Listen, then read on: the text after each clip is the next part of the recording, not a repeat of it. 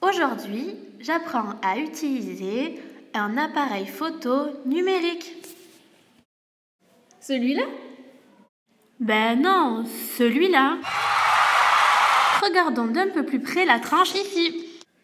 Pour allumer l'appareil photo, il faut simplement déplacer le bouton vers le côté on, comme ça.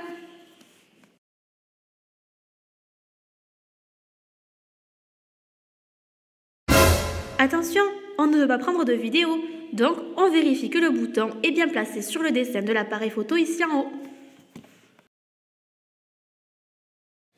Si vous voulez zoomer, faites glisser le bouton vers la droite comme cela. Et au contraire, si vous voulez dézoomer, il vous suffit de déplacer ce même bouton vers la gauche. On regarde ensuite l'écran pour vérifier que l'image est bien cadrée. Pour prendre la photo, on appuie sur ce bouton que l'on appelle le déclencheur. Pour mieux le voir, c'est celui-là. Il n'y a plus qu'à appuyer. Et le tour est joué.